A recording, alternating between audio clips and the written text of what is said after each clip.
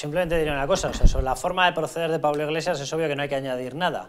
Ahora, eh, para la gente que nos pueda ver y que pueda pensar que el Partido Socialista pacta con gente normal, el Partido Socialista está totalmente al corriente de esto. Una de esas personas que ha mencionado Alfredo Perdiguero, periodista de Interview, que estaba al corriente, ¿saben quién era? Un señor llamado Pozas. ¿Saben quién era Pozas? Una persona que lo tenía en prensa de Moncloa, Pedro Sánchez. ¿Estaba o no estaba al corriente de todo lo que ocurría ahí? ¿Estaba o no estaba al corriente? ¿O es que le ocultaba información a su propio jefe?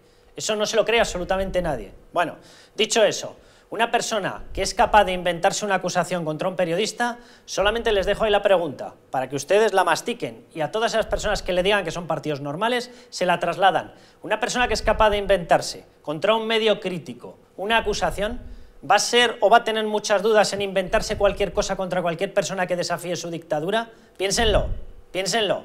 En Venezuela hubo gente que dudó, ¿vale? Leopoldo López estuvo en prisión porque se le acusó falsamente de montar un golpe de Estado. ¿Les suena?